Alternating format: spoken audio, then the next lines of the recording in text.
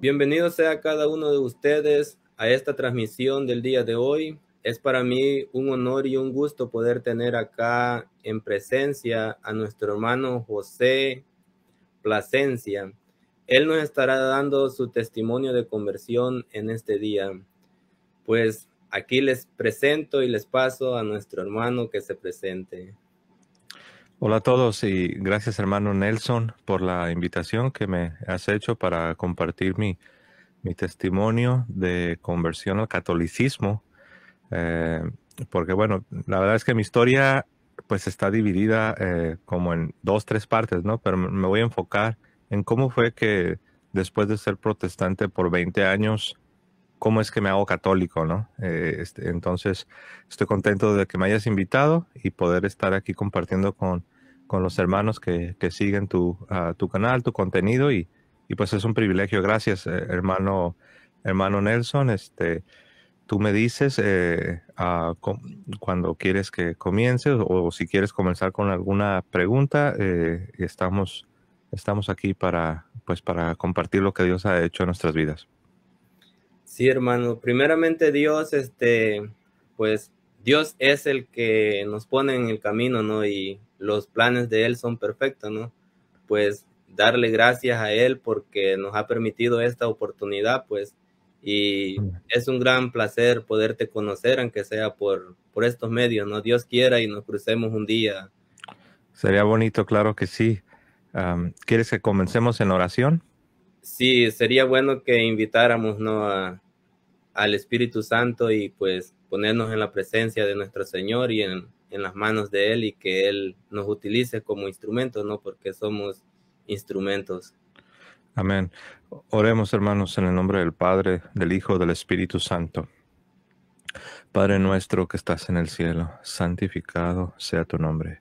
Venga a nosotros tu reino, hágase tu voluntad en la tierra así como en el cielo. Danos hoy nuestro pan de cada día.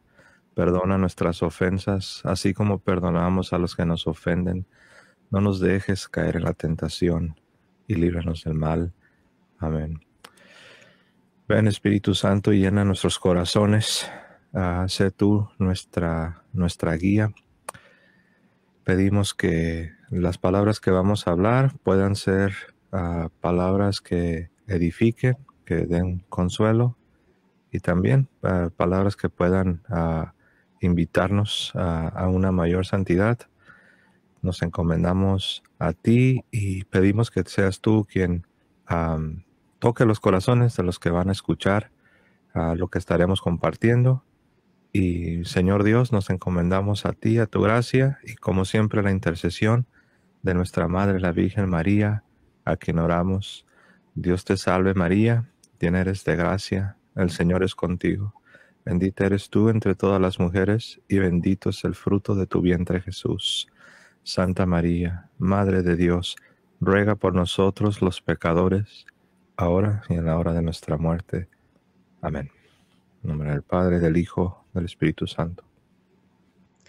Sí, uh, antes de comenzar a compartir cómo fue mi transición, cómo es que siendo un protestante de 20 años, estando muy involucrado en, esta congregación protestante, antes de compartirles cómo fue que que descubrí en verdad la fe católica.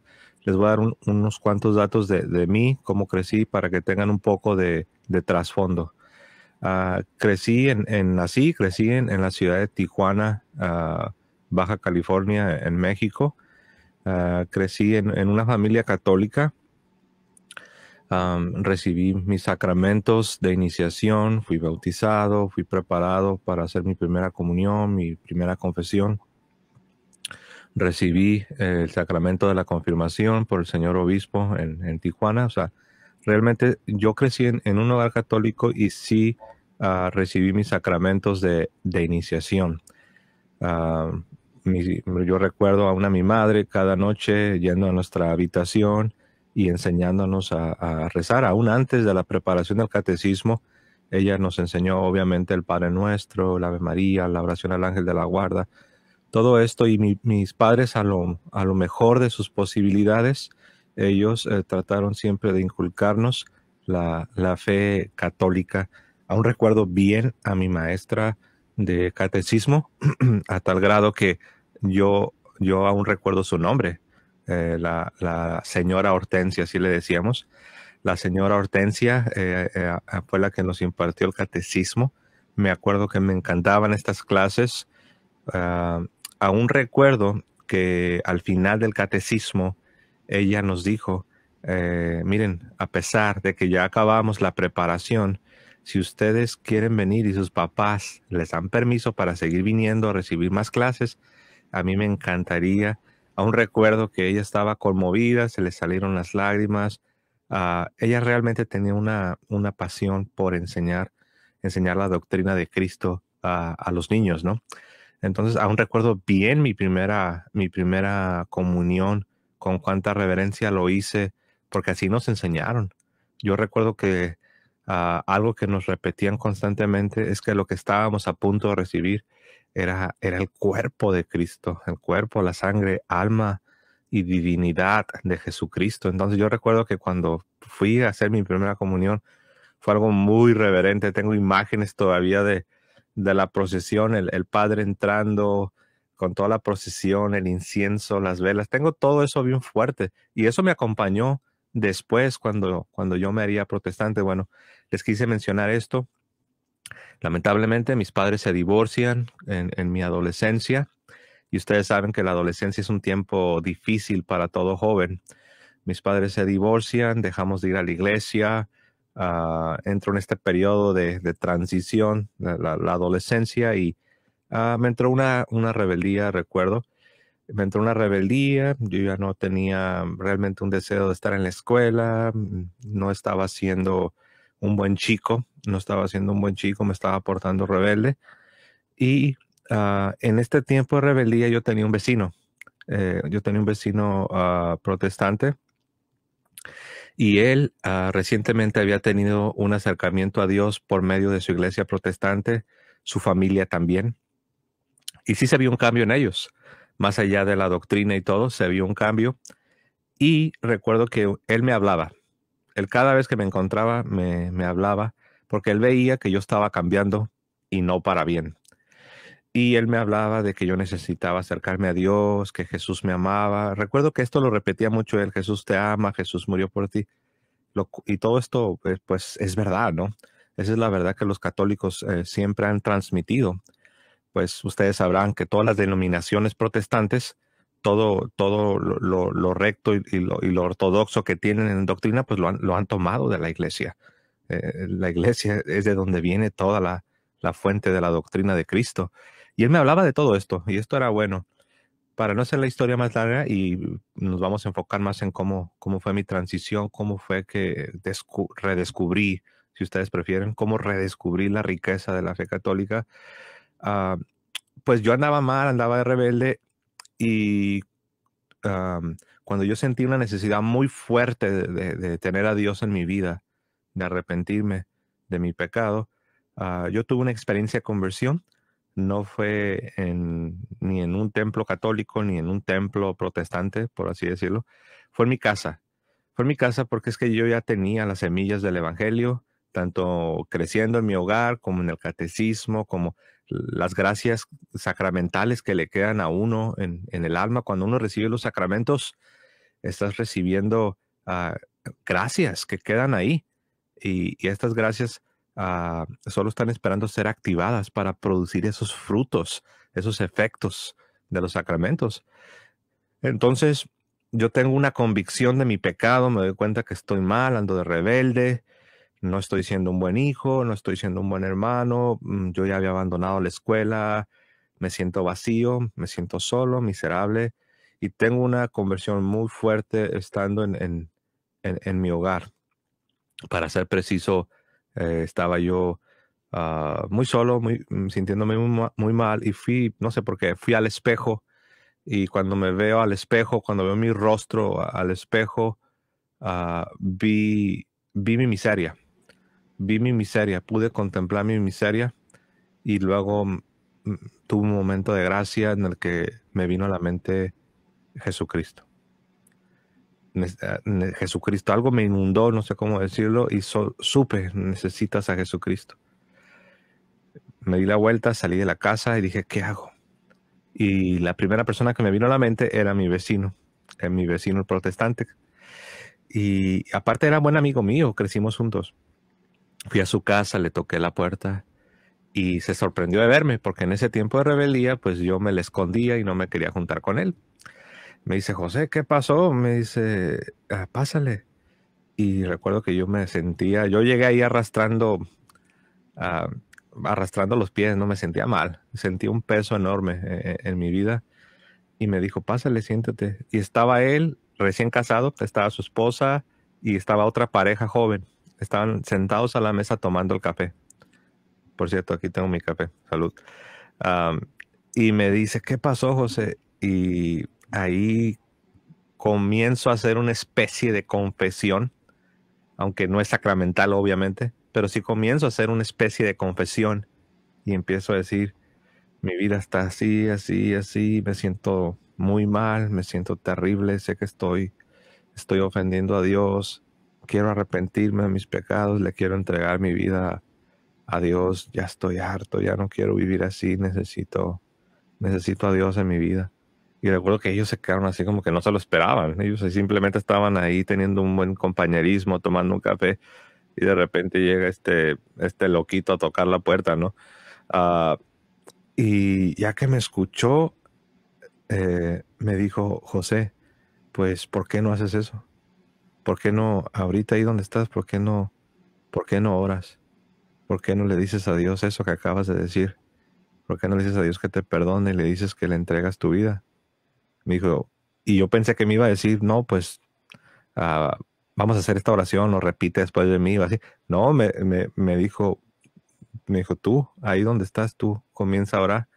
Y sí, inclino mi rostro y comienzo, comienzo a pedirle perdón a Dios. Le comienzo a decir a Dios que, que tenga misericordia de mí, que por favor me perdone, que, que me arrepentía de haberle dado la espalda, porque lo hice a propósito. Yo cuando me, cuando me hice rebelde en la adolescencia, yo recuerdo que yo sabía que lo que estaba a punto de hacer, o sea, de tomar esa decisión de, de decir, no voy a ignorar a Dios por esta temporada de mi vida y, quizás después me arrepiento, qué sé yo. Pero yo sé que lo, lo hice con esa malicia y, le di la espalda a Dios. Entonces sí me sentí muy dolido porque sé que, estaba lastimando a Dios y deshonrando a Dios. Y sí, eh, empecé a orar, me quebranté, ya no pude continuar, comencé, comienzo a, las lágrimas se me salen y como un niño, ¿no?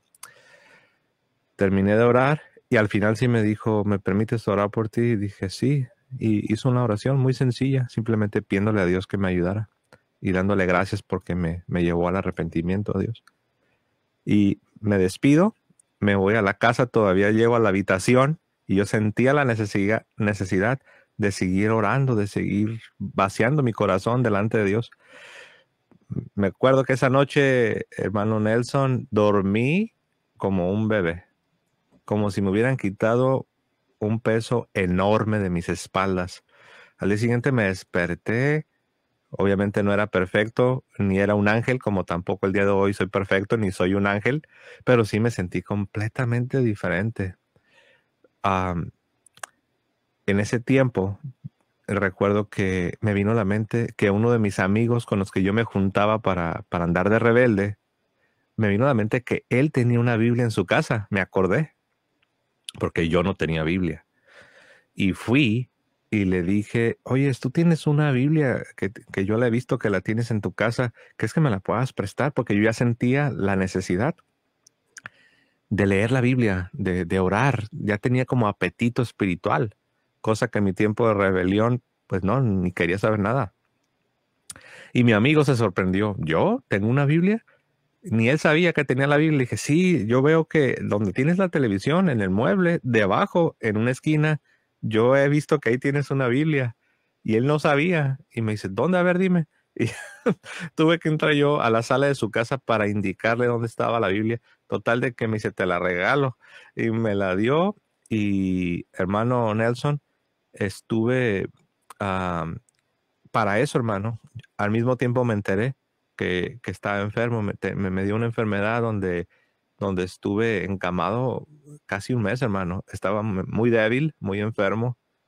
Ah, estuve en cama como tres semanas, alrededor de unas tres semanas, muy débil, hermano, muy, muy débil, muy enfermo. Pero, ¿sabes? Tenía una Biblia en la mano.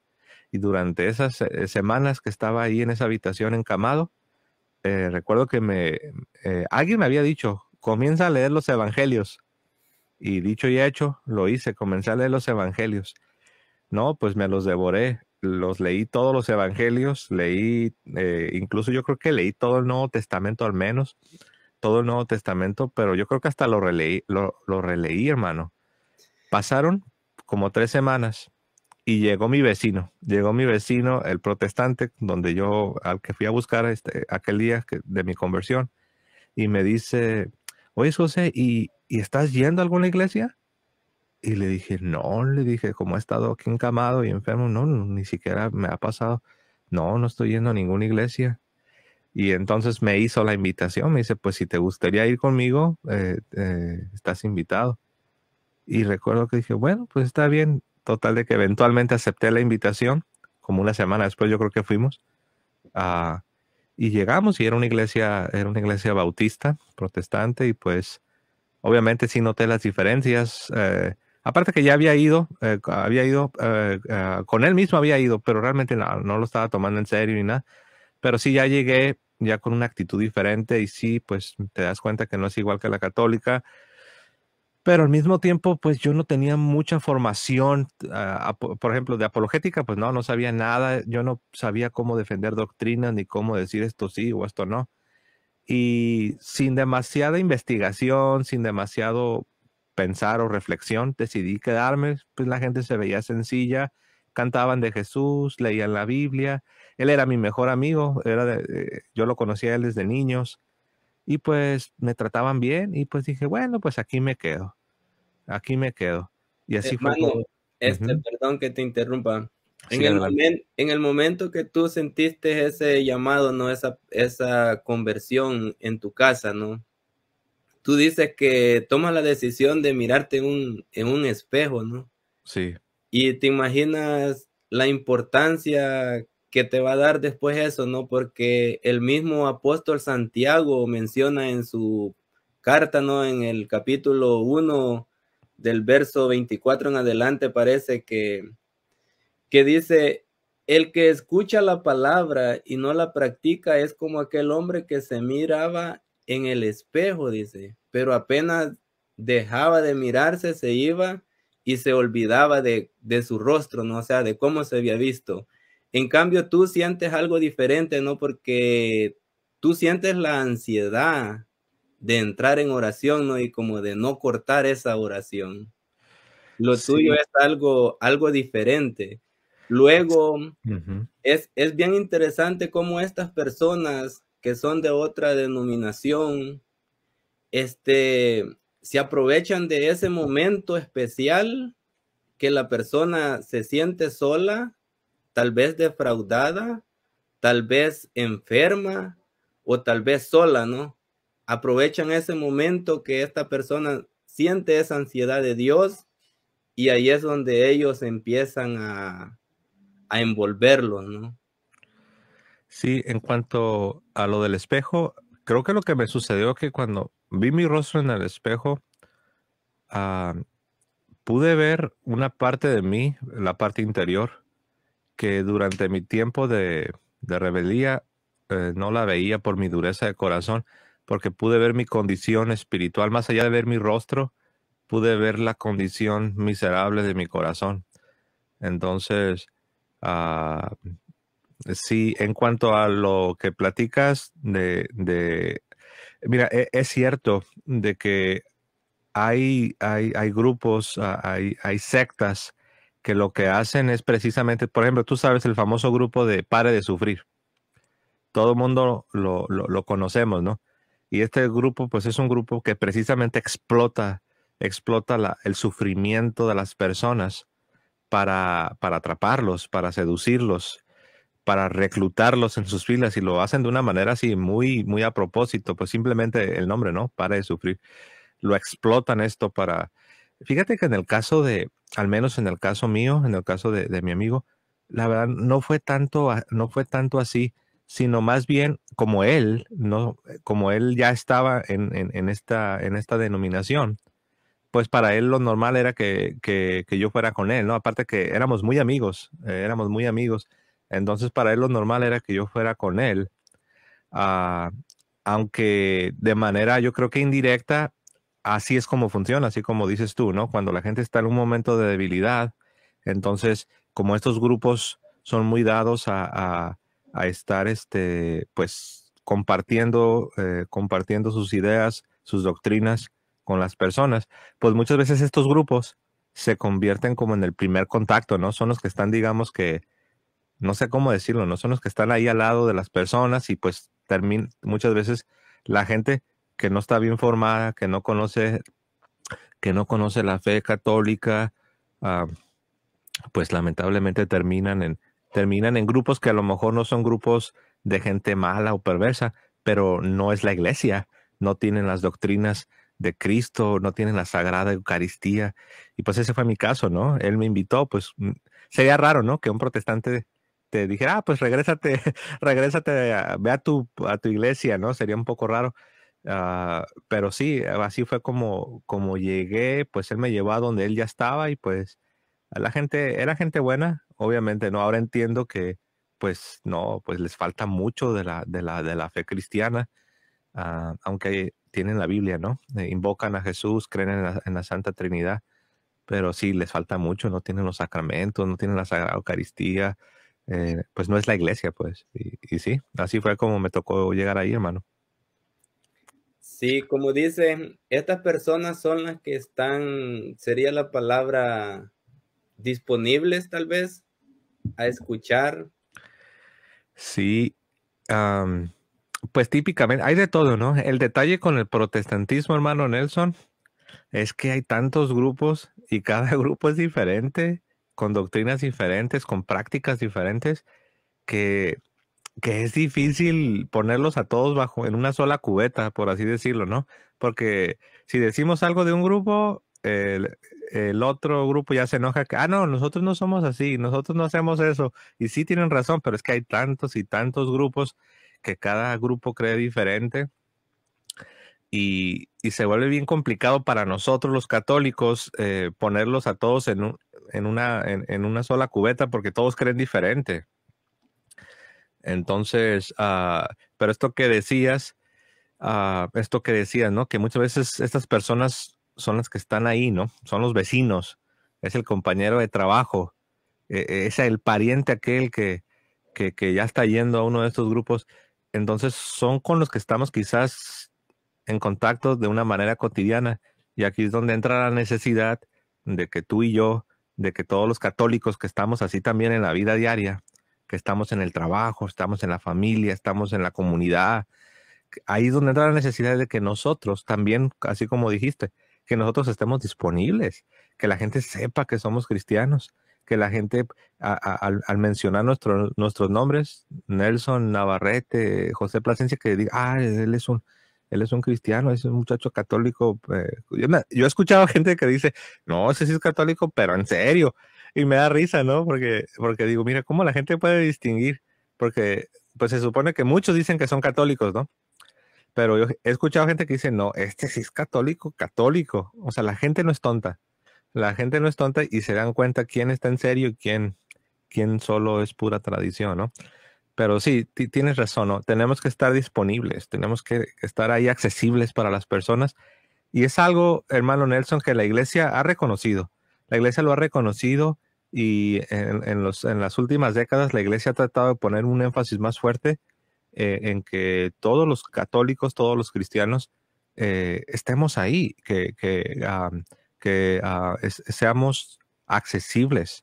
Eh, no solo los laicos, también obviamente, ¿no? También nuestros sacerdotes, los obispos y ah, creo yo que la iglesia ha ido avanzando, aún hay mucho trabajo, pero creo que pues ahí vamos, ¿no? Ah, no sé si quieres que continúe con la, ahora sí ya cómo fue que, que, que fui descubriendo o más bien re descubriendo la, fe católica.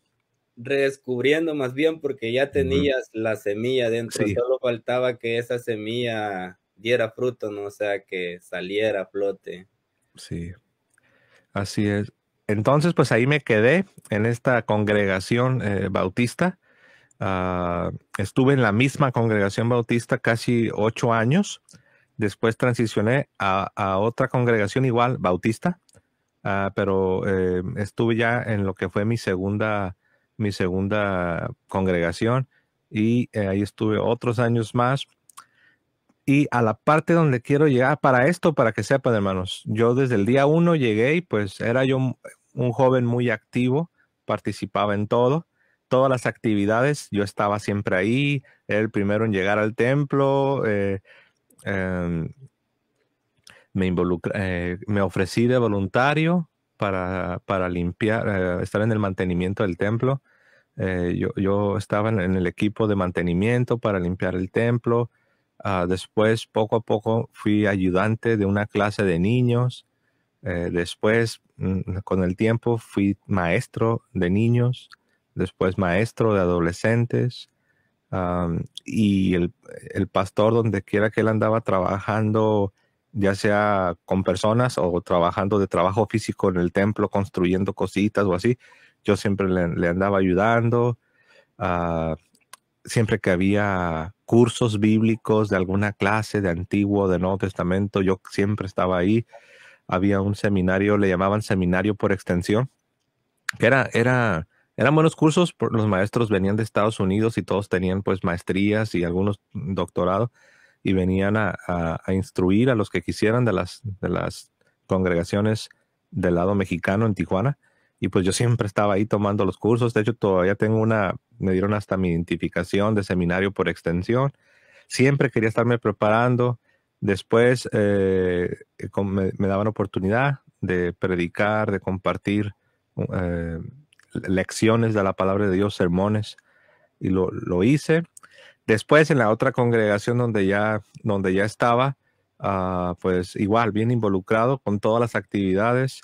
Eh, fui director de un instituto bíblico, me estoy brincando muchas cosas y me estoy brincando años, pero ya en ese tiempo ya era director de un instituto bíblico era, ah, era asistente del pastor, que era un misionero, era un, misionero en Tijuana, y fui su asistente. Después yo mismo fui enviado para comenzar una, nueva misión. Ah, y a la parte donde quiero llegar es que después de estar en esa misión, eh, ya no pudimos continuar ahí y nos movimos a, otra ciudad, eh, ya en el estado de California. Y en esta otra ciudad donde yo estaba, hermano, un día por accidente, entre comillas, en YouTube me apareció un video que decía testimonio de conversión de Eduardo Verástegui. Y cuando lo vi, reconocí el nombre y la imagen. Dije, ah, este, este yo lo conozco, este, este era un actor, ¿no? Y le di clic, le di, le di clic y comienzo a ver el video y comienza la, entrevista y, y, pues sí, tenía un testimonio fuerte, un testimonio fuerte. Eh, eh, no, no, había duda de que lo que él estaba relatando era una conversión. Y recuerdo que dije yo, wow, qué, fuerte esta conversión, porque incluso en la entrevista eh, Eduardo Verasti se, se quebrantó, fue algo muy fuerte y recuerdo que hasta la cámara la voltearon y en lo que él se recuperaba y estuvo muy fuerte, me impactó. Pero luego después, a medida que la entrevista avanza, él ya comienza a hablar ya de cosas ya como más católicas. Y, yo dije, a ver, a ver, entonces, ¿es católico? Nada más para que veas, hermano Nelson, como yo, eh, ya de, muchos años de protestante, yo pensaba que, que las conversiones no sucedían en, en la iglesia católica, que eso no era posible, que solamente era posible con nosotros, los protestantes. Total de que dije yo, ay, ¿a poco? Y total de que, pero fue tan impactante que eso me sacudió. Entonces, no sé si te ha pasado que cuando ves un video, te aparecen otros videos al lado que se relacionan con este video. Entonces ya me aparecieron otros videos de, conversiones, pero como yo estaba en Estados Unidos y, mucho de lo que yo veía eh, era en inglés, pues creo que vi uno de Scott Hahn, pero era en inglés. Entonces comencé a escuchar también el testimonio de Scott Hahn. Yo no lo podía creer. Y cuando yo lo estaba escuchando, recuerdo que dije, wow, no puedo creer, este señor se ve que es muy inteligente, está muy educado, muy preparado. Era un teólogo. ¿Cómo es posible que ahora sea católico? Dije, no tiene sentido. No, no, no, no, no. Dije, eh, obviamente eso está mal. Y yo hasta sentí compasión de Scott Hahn. Yo dije, pobrecito, dije, lo atraparon. Dije, lo atraparon esos católicos. Y dije, pero no puedo entender cómo puedes llegar a ese punto. ¿Cómo es posible que puedas llegar a ese punto de que te hagas católico? Eso en, mi mente no existía. Para mí, como protestante, ah, y, pues tú sabes, al protestante lo envuelven y vives como en una burbuja. Y dije, no, y eso, ah, eso me hizo que, que yo me propusiera investigar el catolicismo, pero no para hacerme católico, no, investigar el catolicismo para estar bien armado hasta los dientes, como se dice, estar bien armado hasta los dientes, porque de repente me, a mi hermano Nelson, como que me salió la parte protestante y dije, no, dije, voy a demostrar que el catolicismo es mentira. Voy a demostrar que la doctrina católica es falsa.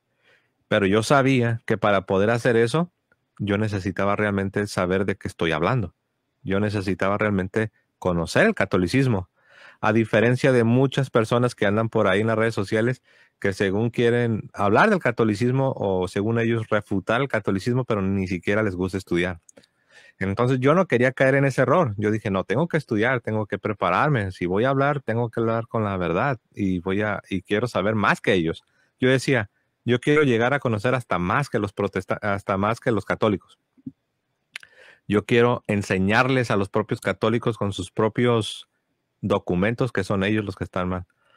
Total, hermano, para ir avanzando, ah, eso, eso lo comencé a hacer, empecé a leer el catecismo, ah, también eh, comencé a ver debates, eh, eran debates en inglés, pero eran debates entre católicos y protestantes sobre diferentes temas, sobre la iglesia, sobre el Papa, sobre la Virgen María, sobre la salvación, qué es la justificación, sobre la llamada doctrina de la, ah, sola escritura, o sea, solo la Biblia, ah, sobre la doctrina de la solo, solo la fe, la fe sola. Y todo esto yo lo estaba viendo. Y sabes, algo sucedió, Nelson, que cuando yo estaba viendo esos debates, un detalle que sucede cuando, cuando tú ves un buen debate, un buen debate, pues no solamente estás escuchando al que está de acuerdo contigo, sino que también estás escuchando al otro, que, que, que, tú no estás de acuerdo con el otro, pero lo tienes que escuchar, porque es un debate, se supone. Y cuando yo estaba escuchando a los dos, y yo realmente sí estaba prestando atención, hasta tomando notas, pues estaba escuchando al católico y yo me daba cuenta que algunas cosas que el católico decía, pues algunas cosas tenían razón.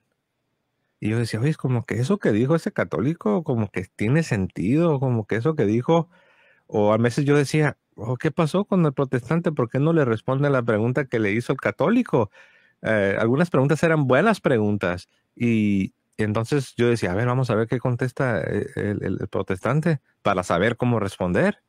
Y no, pues de repente no respondía o daba la vuelta o daba una respuesta que no era la, que no tiene nada que ver con la pregunta. Y poco a poco me fui dando cuenta que la cosa no era como yo me imaginaba. La cosa no era tan sencilla. Y me di cuenta, por decirlo así, que los católicos iban ganando puntos. Poco a poco. Pero no, no, no. Yo decía, no, no, no. Están mal, están mal. Los católicos están mal. Ah, pero me fui dando cuenta que cosas que yo creía como protestante no eran bíblicas, ni siquiera estaban en la Biblia. Como tú dirás, como qué cosas. Pues número uno, me di cuenta que esa idea de que somos salvados por la fe sola eh, no es verdad, eso no está en la Biblia. Me di cuenta que Martín Lutero inventó esa doctrina. Me di cuenta que Martín Lutero rechazó la carta de Santiago, que está en el Nuevo Testamento. Él la rechazó, decía que no era inspirada. Y la razón es porque Santiago, Santiago 2.24, dice que el hombre el hombre es justificado por las obras, obviamente las obras cristianas de la gracia de Dios. Dice, el hombre es justificado por las obras y no por la fe sola. Y no por la fe sola. Entonces ese versículo totalmente refuta a Martín Lutero. En otras palabras, Santiago refuta a Lutero, a Martín Lutero. Y por eso él no aceptaba a Santiago como inspirado. Él decía que no pertenecía al canon, según él. Y después me di cuenta que Martín Lutero, a Romanos 3.28, si tú buscas Romanos 3.28, ahí claramente dice que el hombre es justificado por la fe, pero no dice por la fe sola. Pero Lutero, cuando hizo su traducción al alemán, le agregó la palabra sola, para que dijera que el, que el hombre es justificado por la fe sola. Entonces yo dije, wow, no puedo creer este tremendo, que hasta le aumentó la palabra sola para que se acomodara a su, a su propia doctrina. No puedo creer, pero sí lo hizo. Entonces, nosotros creemos que somos salvados por fe, pero es una fe viva, es una fe con obras, porque la fe sola está muerta. O sea, la fe sin obras está muerta. Entonces, eh, cuando, cuando al católico le, le, preguntan, ¿tú crees que eres salvado por la fe? Uno dice, amén, claro, pero no por la fe sola, porque la fe sin obras está muerta.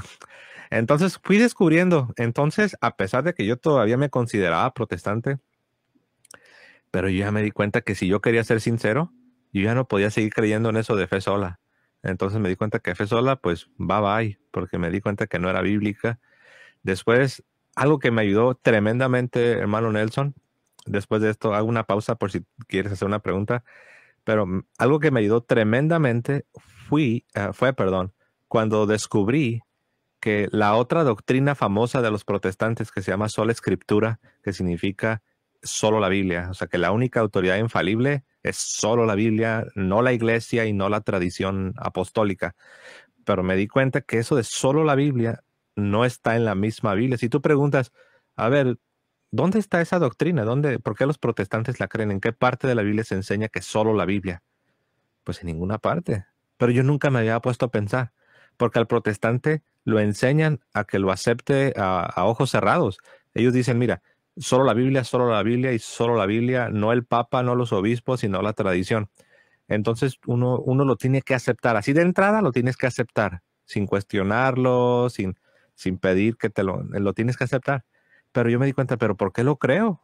¿Por qué lo creo si, no, si en la misma Biblia nos enseña? Los apóstoles nunca funcionaban de esa manera. Las doctrinas, las controversias, los problemas no se resolvían con solo la Biblia y solo la Biblia y solo la Biblia. Eh, no, ah, en la Biblia hay concilios, se hacían concilios, había autoridades, estaban los apóstoles, estaban los ancianos. Eh, no era puro, no era la idea protestante moderna de solo la Biblia. Entonces me di cuenta que, pues que no debería estar creyendo eso. También investigué la historia y me di cuenta que antes de Martín Lutero, nadie creía de esa manera. Siempre se creía eh, que, Cristo había dejado una autoridad para enseñar.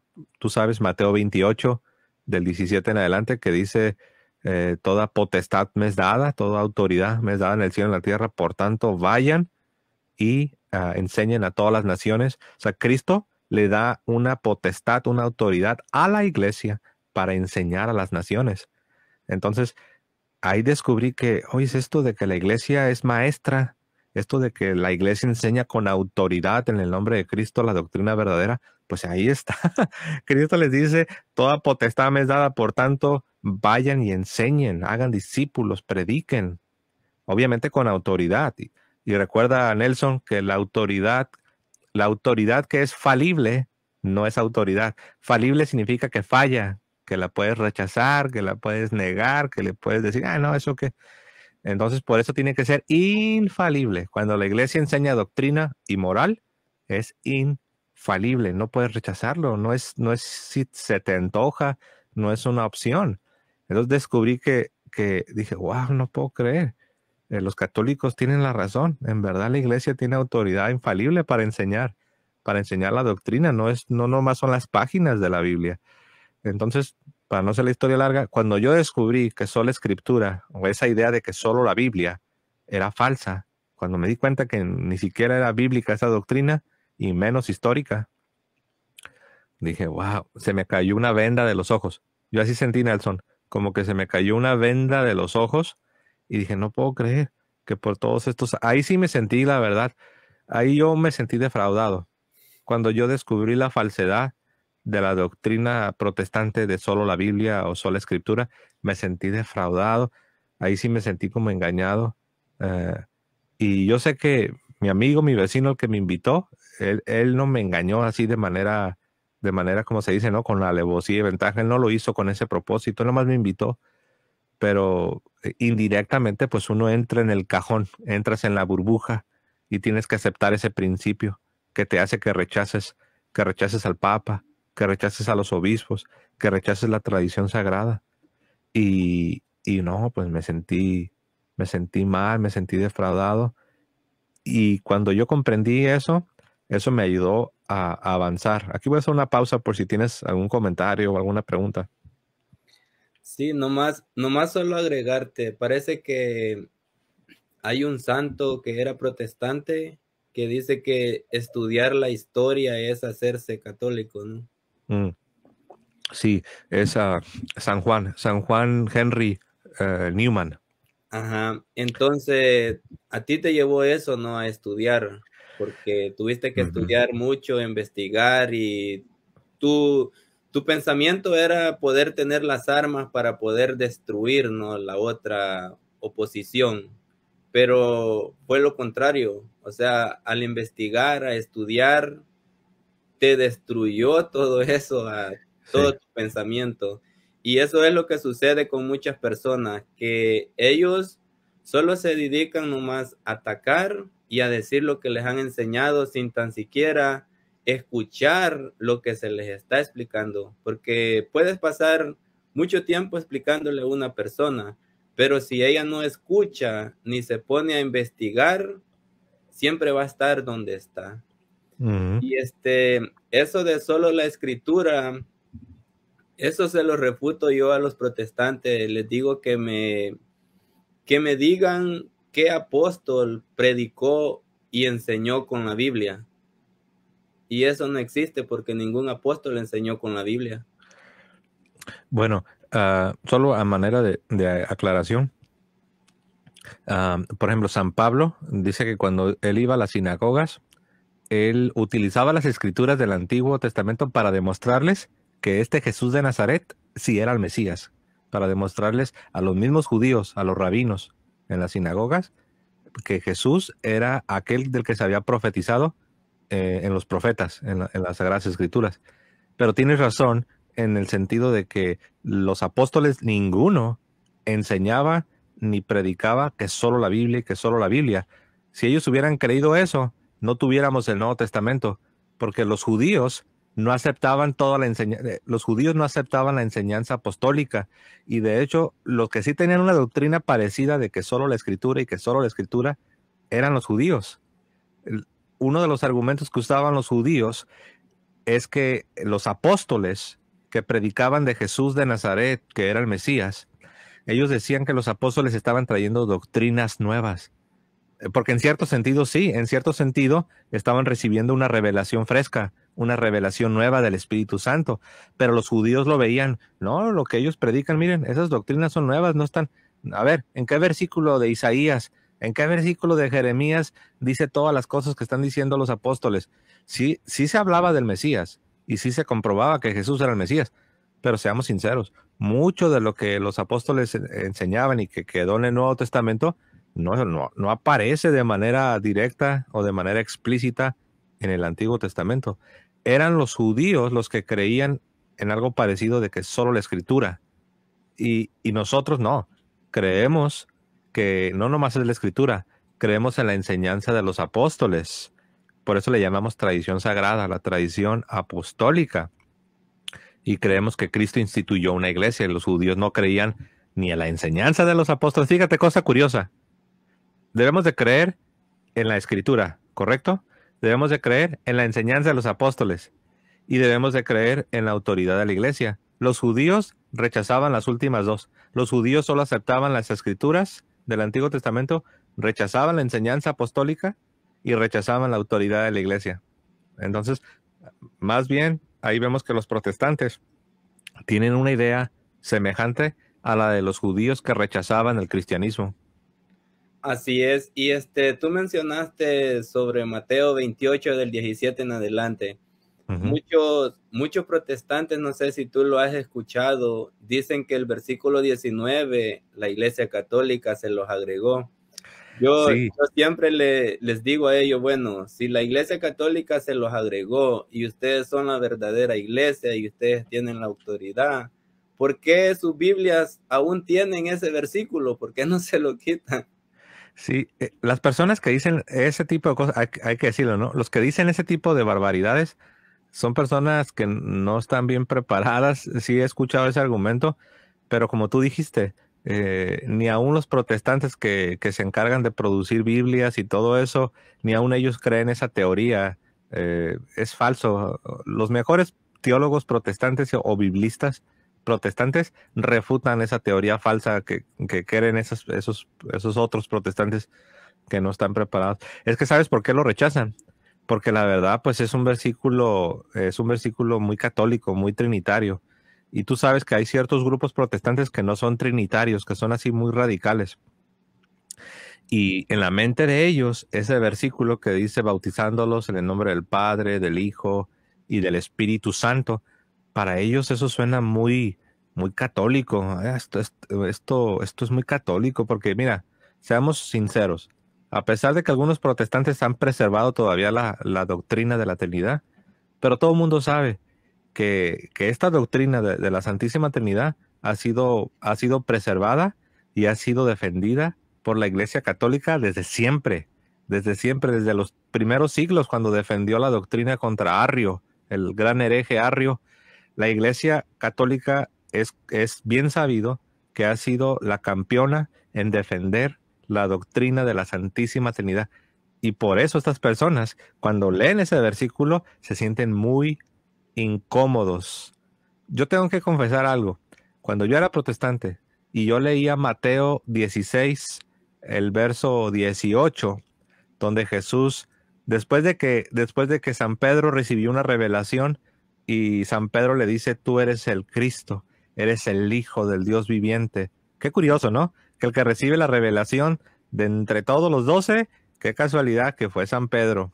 Pero bueno, y después de que él recibe esta revelación y le dice, le dice a Jesús, tú eres el Cristo, el Hijo del Dios viviente, y luego, eh, fíjate qué interesante, Jesús le responde de regreso, le dice, y ahora yo te digo, como diciendo, como diciendo, tú acabas de hablar una revelación. Pues ahora ahí te va otra revelación porque le dice, y ahora yo te digo que tú eres Pedro, que tú eres Kefa, y sobre esta Kefa, ese es el arameo, tú eres piedra, y sobre esta piedra edificaré mi iglesia. Cuando yo leía eso, Nelson, cuando yo lo leía, yo me sentía incómodo, porque yo decía, ay, esto suena muy católico, o sea, yo decía, o sea, seamos sinceros, yo en mi alma sentía que esto era católico, y ¿sabes qué llegué a pensar? Yo llegué a pensar que los católicos malvados le habían aumentado ese, ese, ese pasaje. Yo sí llegué a pensar, ¿por qué? Porque uno sabe que no hay manera de que leas ese versículo y que no sientas que es católico. Y yo, yo sí llegué a pensar eso, que lo habían alterado. Así como tú dijiste que esos protestantes también quieren rechazar el, el versículo de Mateo 28, donde dice bautizándolos en el nombre del Padre, del Hijo y del Espíritu Santo, pues así, hermano, eh, es que no puedes negarlo. Eh, la Biblia es católica, la Biblia es un libro católico. Algunos dicen, no, no, no, la Biblia es judía. No te confundas. Es cierto que los apóstoles eran judíos, pero la doctrina que ellos proclamaban, la doctrina que ellos enseñaban, era católica. Recuerda que católico significa lo contrario de, de sector, lo contrario de sectario. Era una doctrina que fue predicada en todo el mundo, recibida en todo el mundo, y de ahí católica. Era una, una doctrina conforme al todo, universal. La doctrina que corrió y voló, porque Cristo así lo dispuso. Vayan a todas las naciones y enseñen a todas las naciones la misma doctrina. Las palabras de Jesús de Mateo 28, del 17 en adelante, se cumplen, se cumplen y la doctrina fue recibida en todas las naciones. Y esa doctrina se llama católica. Y la iglesia que cree esa doctrina es la iglesia católica. Así es, hermano. Y entonces, después de todos estos estudios que tú hiciste y fuiste entendiendo y dándote cuenta, ¿cuál fue el siguiente paso que decidiste? Lo que a mí me agarró muy fuerte, que yo sentí que yo ya no me iba a poder escapar, es cuando descubrí la Sagrada Eucaristía. Porque me, como tú dijiste, me puse a investigar la historia. Cuando era protestante, nada más yo, cuando yo estudiaba historia, me enfocaba nada más hasta la Reforma, hasta el siglo XVI, Martín Lutero, Juan Calvino. Pero cuando ya empecé en esta búsqueda, entonces yo quería saber qué sucedió antes. Y me metí con la historia de la iglesia y también con los padres, con los padres de la iglesia. Y me fui a los que se les llama los padres apostólicos, que también son padres de la iglesia. Pero se les llama los padres apostólicos porque ellos fueron, eh, estuvieron en contacto directo con los apóstoles. Una de dos, o fueron discípulos de los apóstoles o fueron discípulos de los discípulos de los apóstoles. Y a este grupo se le llama los padres apostólicos. Estamos hablando del siglo I y siglo II. Ah, y comienzo a leer en particular las cartas de San Ignacio. Y cuando comienzo a leer las cartas de San Ignacio, que fue discípulo del apóstol Juan y también tuvo relación con el apóstol San Pedro, ah, cuando yo comienzo a leer sus cartas, que hay que decirlo, San Ignacio de Antioquía es, eh, es principalmente del siglo I. Muchos se confunden porque San Ignacio de Antioquía murió en el 107, que es a, principios del siglo II. Tú sabes, a partir del, del, año 100, año 100, año 101, ya estamos en el siglo II, es el comienzo del siglo II. Pero San Ignacio de Antioquía, discípulo del apóstol Juan, tuvo la gran mayoría de su ministerio, lo tuvo en el siglo I la década de los setentas, la década de los ochentas, antes de que se escribiera el Apocalipsis.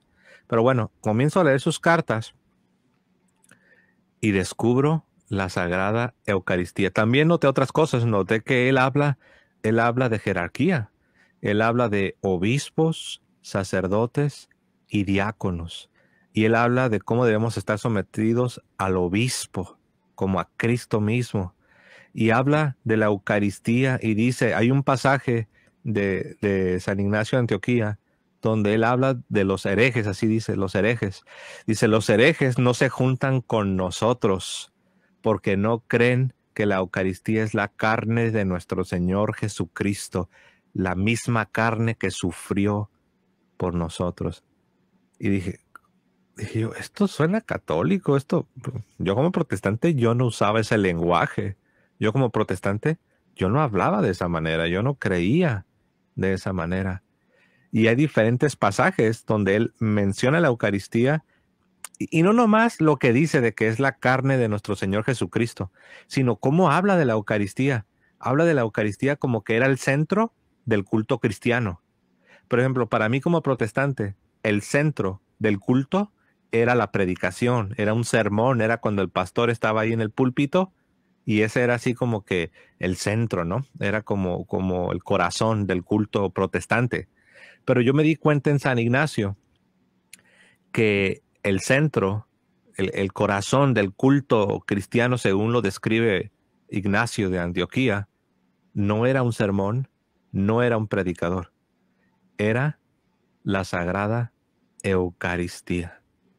Y la verdad, conforme fui descubriendo, no solo en, San Ignacio, sino en otros padres apostólicos, que también hablan de la Sagrada Eucaristía, y algunos incluso que no son precisamente padres de la iglesia, porque eh, ya sea porque se desviaron o porque tuvieron alguna cosita, como Tertuliano, que sí era católico, pero después se, se, aparta de, de, la iglesia, pero aún Tertuliano habla de la, habla de la Eucaristía, Orígenes, que sí era católico, aunque por ahí tuvo algunos, algunos este, detalles con algunos puntos doctrinales, pero aún él habla de la Eucaristía. Entonces, en otras palabras, ni siquiera había, ni siquiera había, como en el protestantismo, ¿no? Que, que hay diferentes puntos de vista sobre la Eucaristía. No había duda de que estos padres apostólicos creían que la Eucaristía era la carne, era el cuerpo de nuestro Señor Jesucristo. Y eso me convencí tan fuerte porque está, es, es de las cosas más obvias en los padres de la iglesia, que yo, yo dije, es que no hay manera de que yo pueda negar esto. Ahora, Nelson, yo tenía mil dudas todavía en mi cabeza. Dudas que el purgatorio, tenía dudas del purgatorio, dudas de, algunas doctrinas de la Virgen María, tenía algunas dudas, eh, no sé, sobre otros detalles, pero de lo que yo ya no tenía duda y yo sabía que eso, si yo decía, si esto es verdad, me refiero a la Eucaristía, si esto es verdad, esto va a cambiar todo, porque la Eucaristía la tiene la Iglesia Católica. Nosotros los protestantes no tenemos la Eucaristía. Y si yo quiero ser como los primeros cristianos, si yo quiero ser como los padres de la iglesia, pues yo necesito tener la Eucaristía. Y la Eucaristía la tiene la Iglesia Católica, no la tienen los protestantes. Entonces, eso fue lo que me agarró. Yo supe que ya no me iba a escapar. Pero yo sí me quería escapar, ¿eh? Yo no quería hacerme católico todavía. Y me dio miedo, Nelson. Te voy a decir por qué me, dio miedo. Me dio miedo porque yo me di cuenta, yo, yo detecté que yo ya estaba tratando de ignorar todas las cosas que estaba aprendiendo. Me estaba queriendo hacer al tonto. Y yo me quise aferrar a seguir siendo protestante. Ah, no lo mencioné, pero en, este momento yo ya estaba en un seminario haciendo una maestría, en un seminario protestante, haciendo una maestría en, divinidades. Y yo fui a ese seminario como un intento desesperado para no hacerme católico, porque yo dije, tal vez el problema es que yo estoy aquí estudiando como loco y, me estoy desviando, y tal vez yo necesito a doctores en teología protestante para que ellos me, instruyan y me enseñen y me, me muestren mis errores y, me, me, hagan ver que lo correcto es ser protestante. No, pero ¿cuál? Estando ahí en el seminario, como yo ya tenía tiempo investigando muy fuerte, en veces perdía el sueño por estar nomás pensando en estas cosas, pues no, yo me di cuenta que, porque era un seminario reformado, era un seminario bautista reformado. Era así muy fuerte con ese asunto de la, de la, de la reforma y que protestantes y que las cinco solas y que todo eso, ya sabes. Entonces, ah, ellos siempre estaban hablando de la Iglesia Católica. Ellos siempre decían, miren, los católicos creen esto, pero eso está mal. Y les vamos a decir por qué. Y decían, por esto, por esto, por esto, y esto es lo que creemos. Entonces, cada doctrina que veíamos, Nelson, siempre era estarla comparando con lo que los católicos creían. Entonces, como yo ya estaba investigando, yo me di cuenta que muchas cosas que decían no eran así como las decían. Y me daba cuenta que, que mis maestros, aunque eran buenas personas, pero me daba cuenta que ellos mismos no conocían muy bien el catolicismo. Y yo recuerdo que con uno en particular, que es famoso entre los protestantes, se llama eh, el doctor Tomás Schreiner, o Tom, Tom Schreiner. Eh, él era buena persona, la verdad. Y sus doctrinas sí se acercaban más a lo católico, pero él todavía se aferraba que él era protestante. Y con él tenía unas pláticas. Y él me ayudó a darme cuenta que la doctrina de la, de la justificación católica era la correcta. Porque yo hablaba con él y a él le gustaba hablar conmigo, le encantaba hablar conmigo porque yo, como yo estudiaba mucho, como que a él le gustaba porque yo le podía seguir, podíamos hablar en el mismo canal, pues y me di cuenta que, lo que, lo que dicen los protestantes de que si tú crees que las obras son parte de la justificación, que entonces ya tú ya crees en, justificación por obras, en salvación por obras. Con ese doctor protestante me di cuenta que eso no es así, porque él sí creía, él decía, no, las obras cristianas sí son necesarias para la salvación, él, él así lo decía, para la salvación final en el día del juicio, sí son necesarias, y si no las tienes, no vas a ser salvado. Dice, eso es lo que, eso es lo que enseña la Biblia. Pero él decía que esas obras no eran la base, sino solamente eran como frutos. Y de hecho la iglesia no tiene problema con eso, la iglesia sí acepta porque es cierto, la base es la gracia de Dios. Sin embargo, sí deben de ser, deben de ser parte del proceso si son parte del proceso de la salvación, del proceso de la justificación. Y si no las tienes, pues si no tienes las buenas obras cristianas, pues no, no puedes ser salvado. O sea, él tenía una mezcla, él tenía una mezcla de como de catolicismo y protestantismo. Ah, total de que no, pues yo me di cuenta que, me di cuenta que no, dije, ¿sabes qué? Los católicos tienen razón, lo correcto es ser católico. Entonces, pues ya me convencí, pero tenía a mi esposa. Lo bueno fue que yo toda esta investigación no la hice en secreto, yo todo lo iba compartiendo a ella. Algunas cosas sí, sí las estaba ella comprendiendo, pero otras no. Y ella no quería ser católica. Ella me dijo, ni se te ocurra pensar que yo voy a ser católica. Ella venía de un hogar protestante de toda la vida. Entonces ella me dijo, ni se te ocurra pensar. Entonces me, daba miedo porque yo decía, yo decía, pues ¿cómo me voy a ser católico y voy a destruir, voy a destruir mi familia?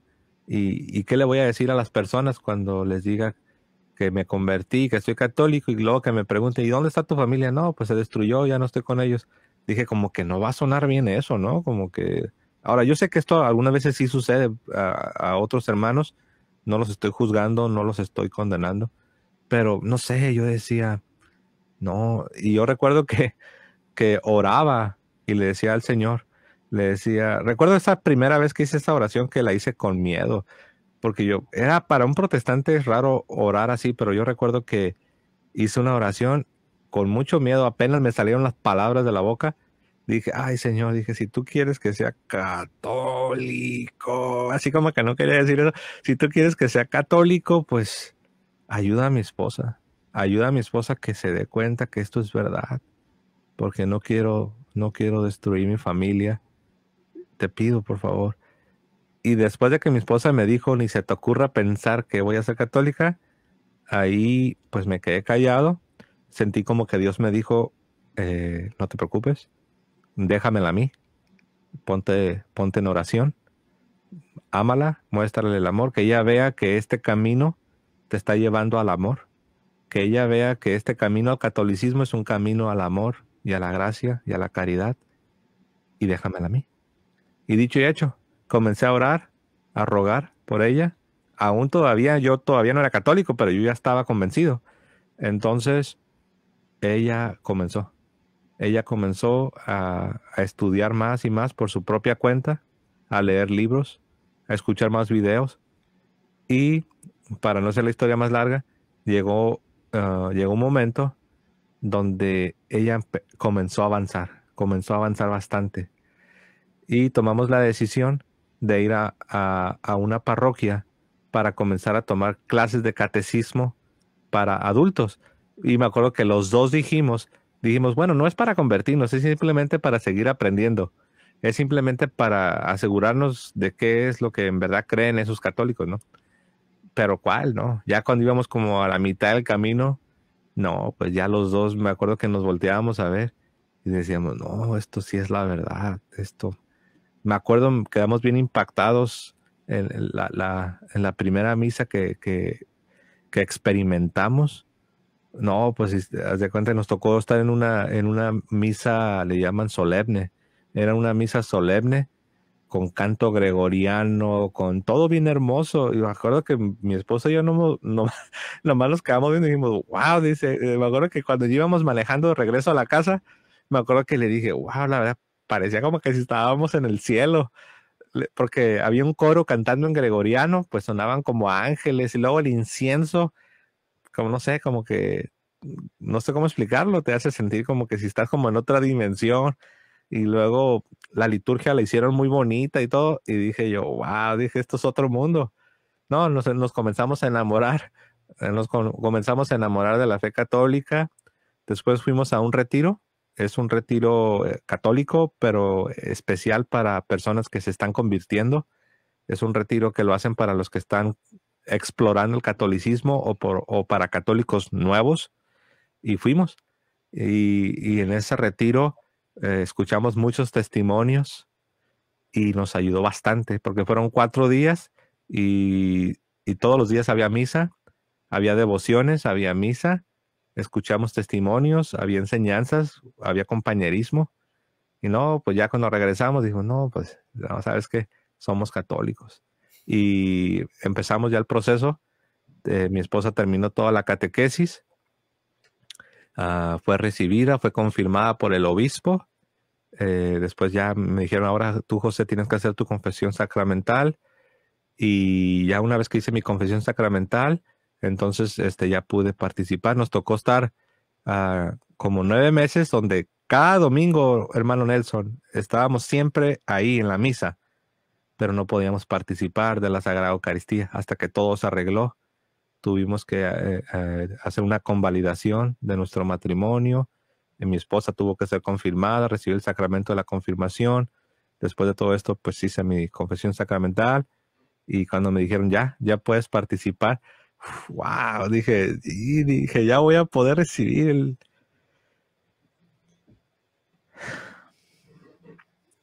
como dijo el apóstol Pedro, el apóstol Pedro, ¿no? Qué bien es estar acá. Sí, es algo hermoso, hermano. Yo me acuerdo que cuando veía que todos pasaban a recibir el cuerpo de Cristo, la Sagrada Eucaristía, em, te da una envidia de la buena. Y a la vez, pues, te sientes así como dices, y yo todavía no puedo. Porque pues todos pasaban a recibir y, y pues yo no podía, ¿no? Sí, este, me hacen, me hace recordar, este, que una vez mi niña iba bien emocionada en la, en la línea, ¿no? Pero todavía no había hecho su, su primera comunión, ¿no? Cuando llega enfrente del sacerdote y el sacerdote tiene la Eucaristía en las manos, ¿no? Cuerpo de Cristo. Y la niña lo quiere, lo quiere recibir, ¿no? Pero el sacerdote no se la da porque no todavía no ha recibido su primera comunión, ¿no? Entonces ella se le queda viendo y, sale llorando, ¿no? ¿Te imaginas? Una niña que todavía no comprende muy bien o que quizás comprende muy bien. O sea, sale, sale rompida en, en llanto, ¿no? Que por qué no le habían dado la galleta, dijo ella que por qué no le habían dado la galleta. ¿Te imaginas ya uno que ya tiene el conocimiento y pues darse cuenta, ¿no? De que, que no puedes recibir por la misma culpa de uno, ¿no? Porque es por la situación en la que uno se encuentra. No porque Dios te niegue, sino que es porque la situación que uno se encuentra. Sí, pues hay que estar bien pues preparados, ¿no? Y no se trata de que de que tengas que ser perfecto. Se trata de, que estés en estado de gracia, que eso es un error de, los hermanos separados, de los protestantes. Ellos siempre repiten algo que no es verdad. Ellos dicen que Dios demanda perfección. Y eso no es cierto. El Evangelio de Cristo no es ese. El Evangelio de Cristo es que Dios quiere que tú estés en gracia. Entonces, tanto para participar de la vida sacramental, de la vida de la gracia aquí en, la iglesia, como para participar de la visión beatífica, estar ya en presencia de Cristo, eh, lo que necesitas es estar en estado de gracia. No, si Dios te mandase la perfección, significaría que no, tú tendrías que ser como un Dios. Eh, y no, pues entonces nadie podríamos ser salvados. Entonces, no, Dios no demanda eh, la perfección para que tú puedas estar en comunión con Él. Dios demanda que estés en estado de gracia. Obviamente, si somos llamados a la santidad. Obviamente, un día va a suceder lo que se conoce como la glorificación, donde ya nuestro cuerpo va a ser transformado y ya vamos a estar completamente ausentes de todo pecado. Sin embargo, el Evangelio de Cristo nos llama a, la gracia de Dios, a estar en gracia de Dios. Y sí, hermano, fue algo muy hermoso cuando recibo la, eh, Eucaristía después de tantísimos años de, no haberlo hecho fue muy especial. Recuerdo también la, antes de eso, recuerdo pues la confesión. Recuerdo la, la, confesión fue algo bien hermoso. Es algo que te enseña humildad. Porque yo recuerdo cuando, cuando yo la hice, era en un retiro de puros varones, eran puros hombres. Y me acuerdo que había una fila enorme porque la verdad fueron muchos, éramos, no sé cuántos éramos, unos, no sé, unos 500 yo creo. Y ver a puros hombres eh, hombres ya de tercera edad, hombres de edad mediana, jóvenes, y ver a todos estos hombres ahí formados para ir y confesar sus pecados.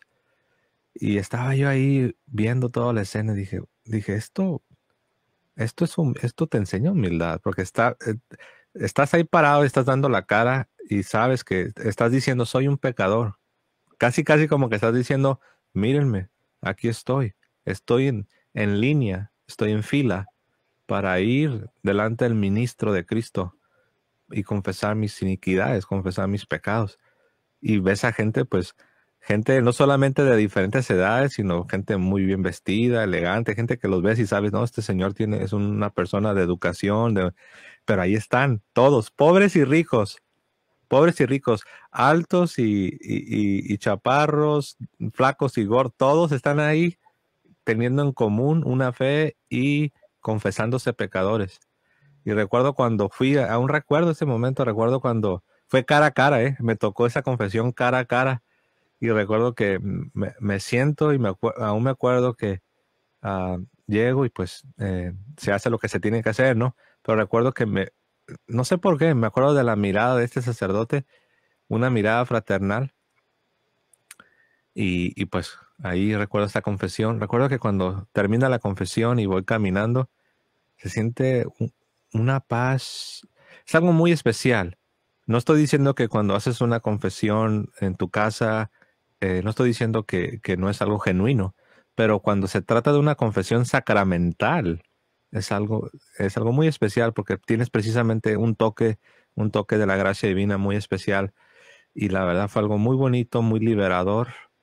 Ah, quizás me recordé un poco aquel, aquel día de aquella conversión que tuve, que te dije que al día siguiente me desperté y me sentía así. Son toques, toques de la gracia de Dios muy especial.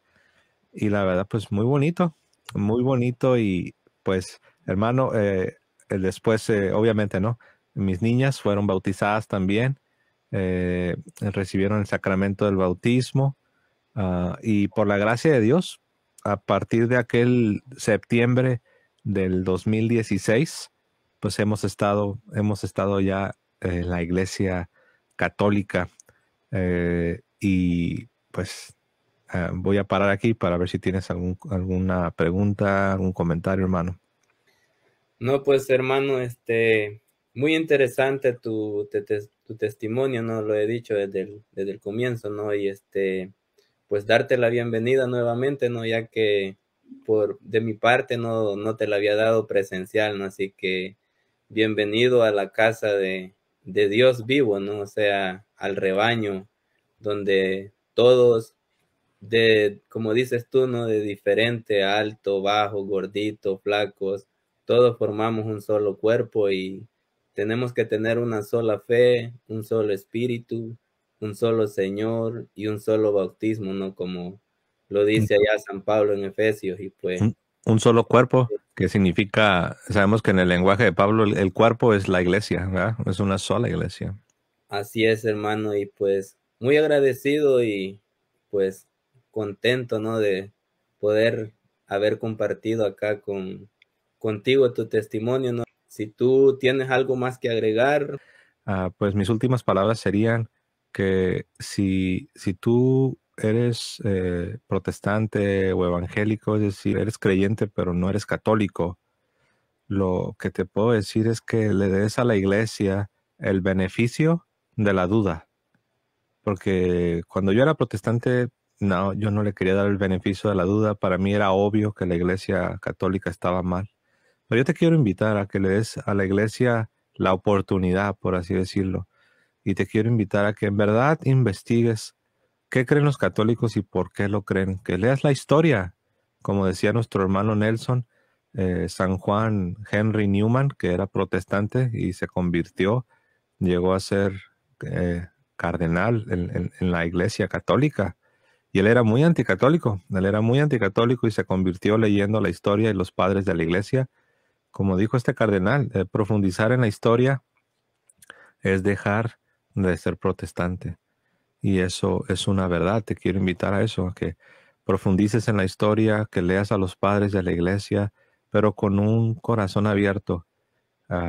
y verás que Dios te va a mostrar cosas que ahora no entiendes, las, las vas a poder comprender.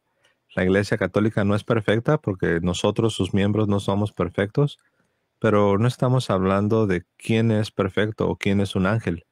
Estamos hablando de dónde está la verdad. Este es un asunto de la verdad Si tú amas a Cristo, tú amas la verdad, tú quieres la verdad, toda la verdad y nada más que la verdad. Si desde que esa sería mi invitación. Busca la verdad sin importar las consecuencias, sin importar a dónde te lleve esa verdad. Y bueno, me resta agradecerte, hermano Nelson. Gracias por la invitación. Eh, te mando un fuerte abrazo a la distancia y a, toda, a todas las personas que nos están escuchando les deseo lo mejor. Que Dios los bendiga y los guarde. Gracias a todos y hasta la próxima. Bendiciones.